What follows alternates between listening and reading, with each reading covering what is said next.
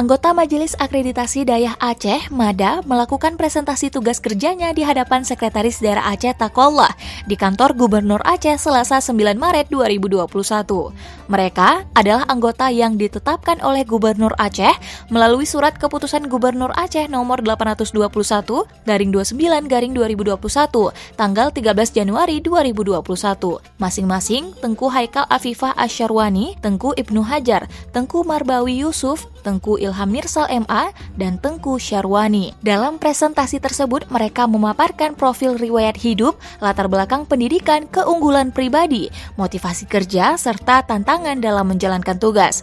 Keterbatasan pemahaman pihak daya terkait akreditasi menjadi salah satu tantangan yang kami alami dalam meningkatkan standar mutu suatu daya. Untuk itu kami akan menggencarkan sosialisasi pemahaman tentang akreditasi daya, ujar Syarwani dalam presentasinya.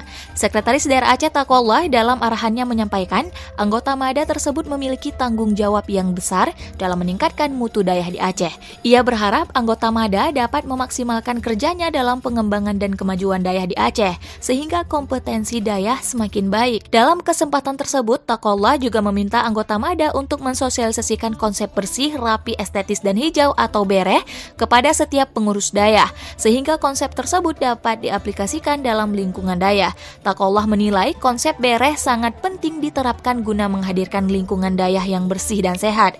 Selain itu, daya juga dapat menjadi tempat tinggal dan tempat menuntut ilmu yang nyaman bagi generasi muda Aceh.